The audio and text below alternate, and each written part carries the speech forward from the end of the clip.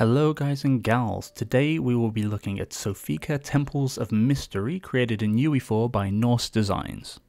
This cute little game is a puzzle platformer that sees you jumping between the clouds in what may or may not be a dream.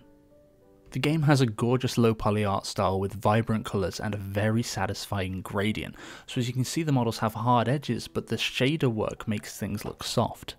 And one of my favourite things about this game is the soundtrack, I'll let you listen to it for a second.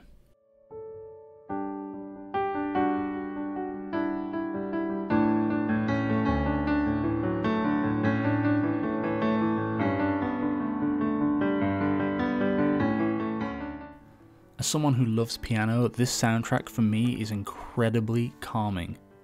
And when you pair that music with the art style, you get a really soothing atmosphere. For the most part, the game seems to take place in different sorts of temples, however one does stand out more than the others, and that is the Egyptian level. I think it's just because of the sheer contrast in colours, you go from lots of greens and greys to really harsh oranges and yellows.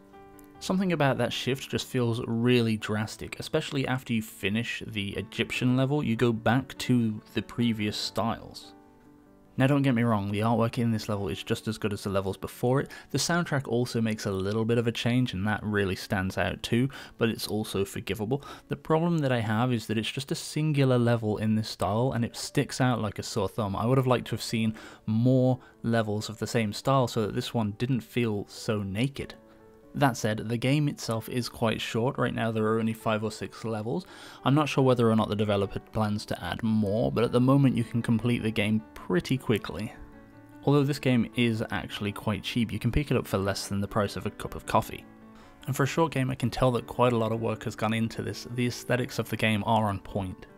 So you get it, I like the way this game looks, I like the way this game sounds, but how about the way the game plays? Well, unfortunately, the game kind of shifts direction after the first few levels. For the first couple of levels, you actually have some puzzles to complete, but after that, it just becomes pure platforming. The platforming itself, though, is quite satisfying, however, there do seem to be a few problems with the controls. The player character seems to be under very low gravity, so you feel really floaty, and unfortunately, you don't have very much air control. So at times when you're trying to do these really precise jumps, your character just keeps on going despite you trying your hardest to come back a little bit.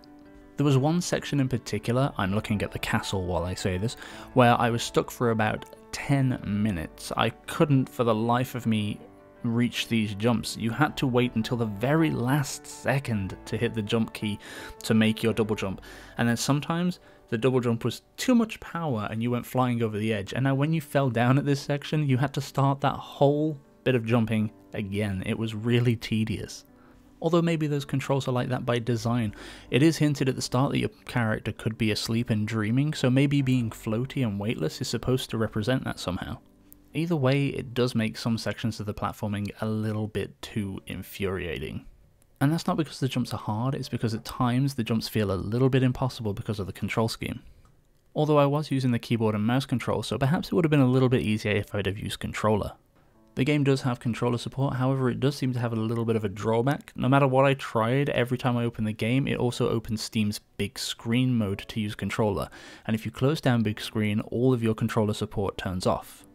Hopefully that's something that the developers will look into in the future. I can see uh, from their Steam news page that they are updating the game regularly and sorting bugs and performance issues.